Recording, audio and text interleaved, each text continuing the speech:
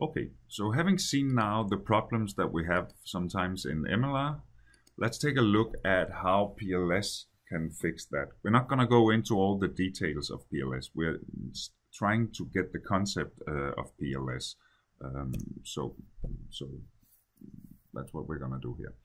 Okay, so what PLS does is that it tries to find a model between X and Y. It actually just tries to find a regression model, uh, but it does so in a uh, special way.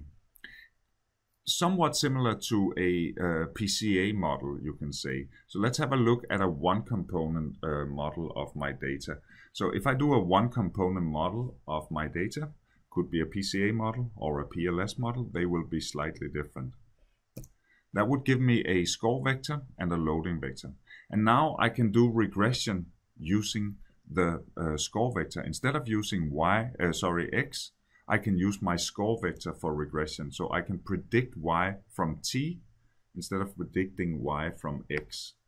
And let's take a look at how that would work if we do it on the two data sets that we just saw in the previous video. Now, I hope you can see that if you build a PCA model, a one component PCA model of these two variables, the first score is going to be essentially the same there's hardly going to be any difference. So no matter if I get a score vector from this one or from this one, it's essentially going to be the same. And that also means that my calibration or my regression model going from t to y is going to be the same.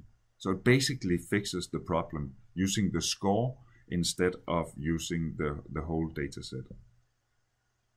Now, as I said, it's not really PCA we do find a set of scores and loadings, but it's not really PCA. And, and let me explain uh, why we do something slightly different from uh, PCA.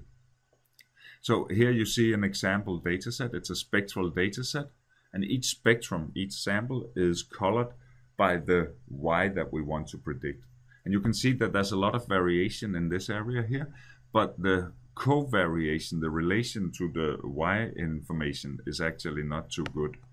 So if I do PCA on this data set, then I'm going to find a loading that mainly reflects this uh, uh, area of high variation.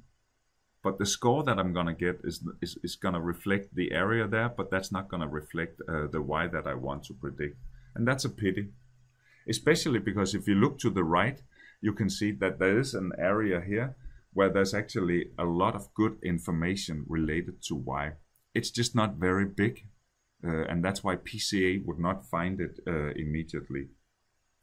So instead of doing a PCA-like model, we would like to do something that looks for the relevant information instead of just looking for the big information.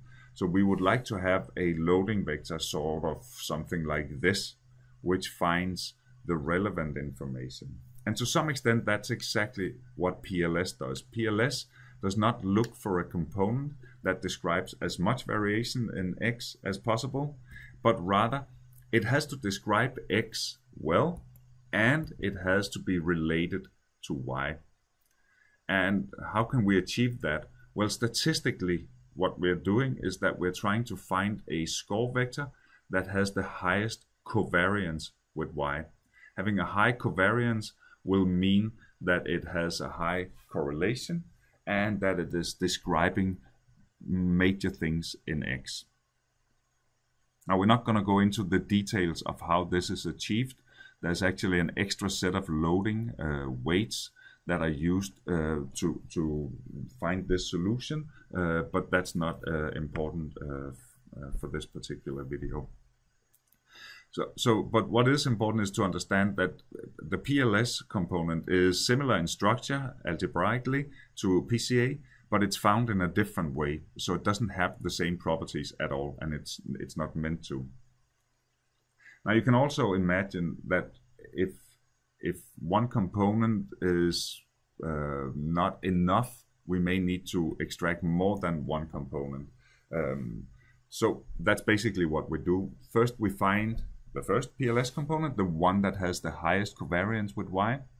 And then we subtract that information from both x and y and use the residuals to do exactly the same one more time. And then we can find the second component and the third and the fourth and the fifth uh, until we have a nice uh, description of our data.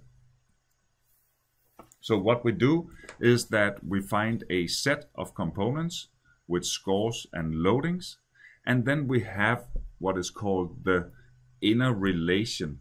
We have score 1 times a number, that's a regression coefficient, score 2 times another number, etc.